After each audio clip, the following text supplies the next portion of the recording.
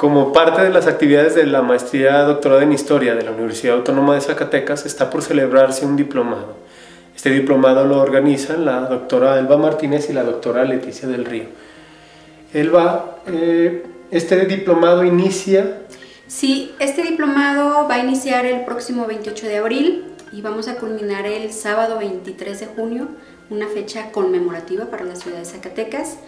Va a ser los sábados de 10 a 1 de la tarde y vamos a tener también mesas redondas que se van a llevar a cabo cada viernes, pero cada 15 días, durante dos meses aproximadamente. Costos, vamos a tener un costo relativamente simbólico para insumos.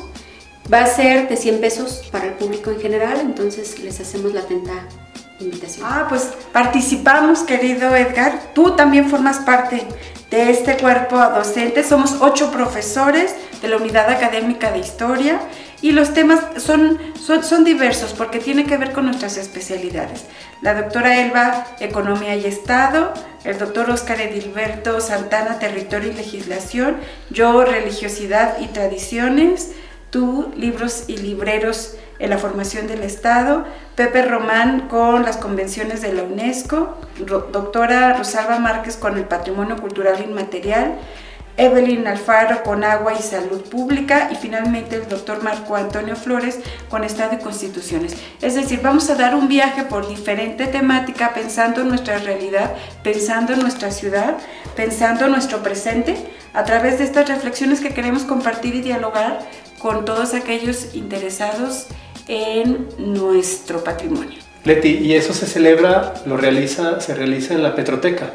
Pues sí, tuvo el Instituto Zacatecano de la Cultura a bien eh, aceptar y facilitarnos este espacio para celebrar el 25 aniversario de inscripción en la lista de Patrimonio Mundial a Zacatecas y pues es, es un edificio que es simbólico porque construido como espacio religioso, luego se convirtió en vecindad y otros usos, ahora es galería, eh, es sala de exposiciones y también de, de foros de discusión académica.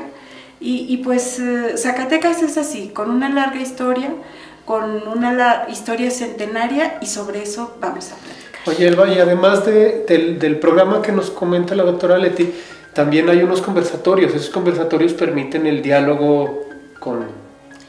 Sí, efectivamente, esos conversatorios los vamos a llevar a los viernes y vamos a tener la oportunidad de dialogar con profesores invitados, con personas de otras áreas para generar un diálogo interdisciplinario. Bien, la invitación está hecha.